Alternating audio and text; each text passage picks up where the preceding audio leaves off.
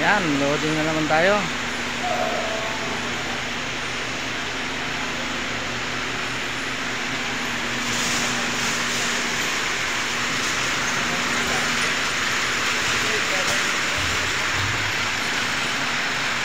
Tira!